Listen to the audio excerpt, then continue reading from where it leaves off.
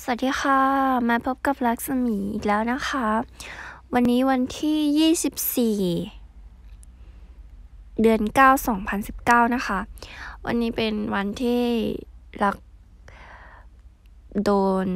พี่ที่ทำงานแล้วก็สามีให้ทำซอสฟรานซูซิสฟรานซูซิสนะคะในประเทศสวิตเซอร์แลนด์นะคะในที่ทำงาน แล้วก็จะมาบอกว่ามี ส่วนผสมอะไรบ้าง อันนี้เป็นคลิปที่บันทึกไว้ว่า มันทำยังไงนะ มันทำยังไงเนาะ แล้วถ้ามีโอกาสแบบดีๆ จะมาทำให้ดูเพราะว่ารักเพิ่งหัดทำ ก็จะมีหอมหัวใหญ่วาชิส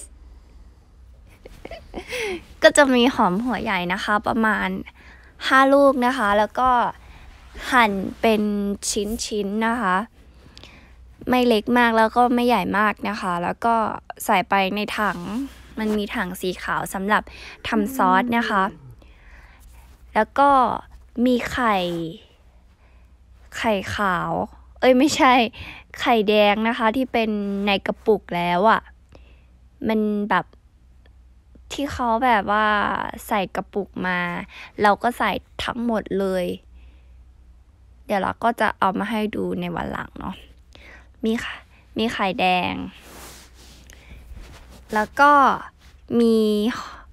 กระเทียมนะคะ เราก็ใส่กระเทียมไปสักประมาณหนึ่งกำมือ แล้วก็มีเราก็ต้มน้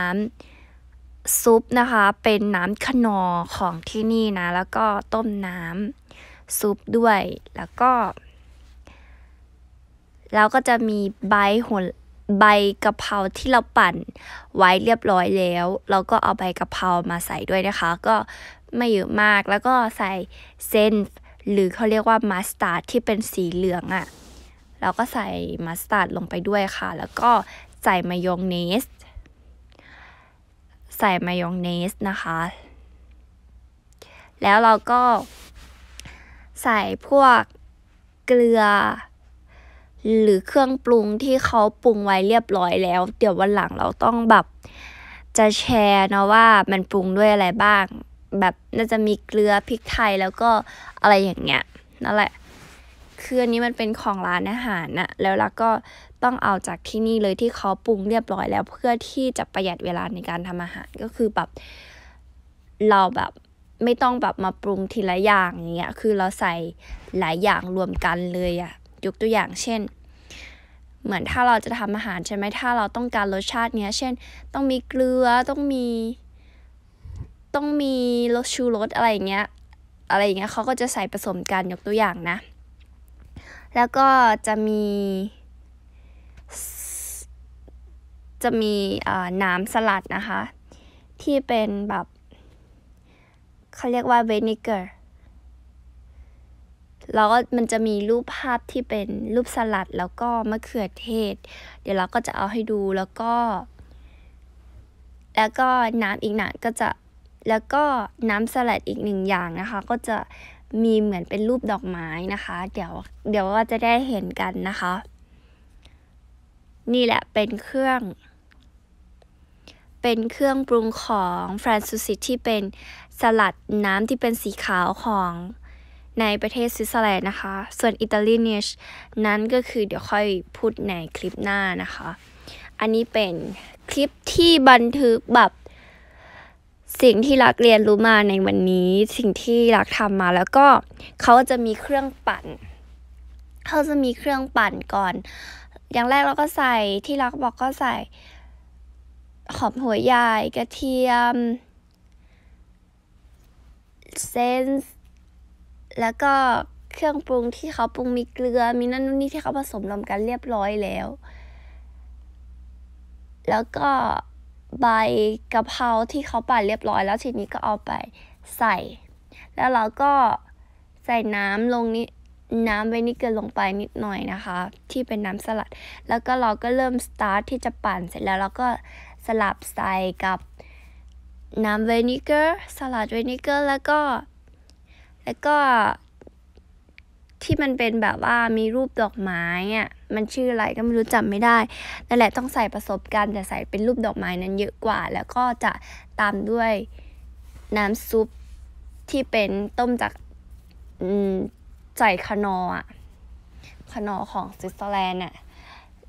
แล้วเราก็เอามาใส่นั่นแหละ แล้วก็ก่อนตอนแรก ๆ เราต้องใส่ไอ้ไข่ค่ะ ไข่แดงด้วยเนาะแล้วก็จะปั่นปั่นปั่นด้วยเครื่อง แล้วก็เสร็จ แล้วเสร็จแล้วเราก็ต้องเขียนวันที่ด้วยว่าเราเริ่มทำตั้งแต่วันที่เท่าไหร่ แล้วก็ลงลายมือชื่อด้วยค่ะ คลิปนี้ก็แบบเป็นครั้งแรกเนาะแล้วก็จะบอกความรู้สึกว่า ตอนแรกเราก็ต้องเตรียมเนาะว่า พราะมันมีสองซอสใช่ไหมถ้าเป็นซอสเดียวอย่างเงี้ยเราก็จะจำได้แม่นแต่ว่ามันเป็นสองซอสมันมีอิตาเลียนนิชซอสด้วย แต่ว่าอิตาเลียนนิชนั้นก็ไม่ได้ใส่ไข่แต่ว่ายังไม่พูดถึงหรอกก็น่าจะจำได้อยู่แล้วก็ลองฝึกไป เพราะที่ร้านอาหารเพราะเป็นสิ่งใหม่ แล้วถ้าเราไม่ได้เรียนหรือว่าไม่ได้จำอย่างเงี้ยเหมือนเราต้องจำเองในสมองเนี่ย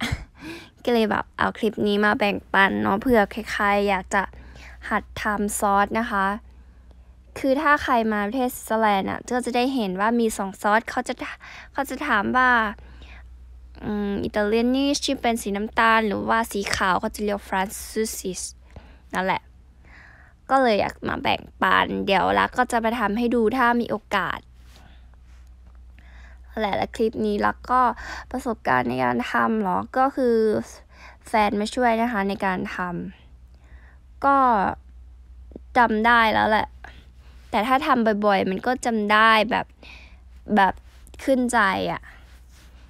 แต่คราวนี้ก็วันนี้ก็ไม่ได้มีคนบอก แต่ก็ก็มีสามีบอกมาช่วยมาช่วยถือมาช่วยอะไรเงี้ยแต่เราก็เป็นคนเตรียมของเขาก็ไม่มีคนบอกเราหรอก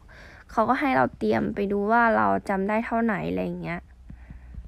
ก็คือไม่มีคนบอกเพราะว่าเอาแหละ โอเค แล้วค่อยเจอกันใหม่คลิปหน้านะคะ Good to n o c k love good bye bye ฝากกดติดตามให้รักด้วยนะ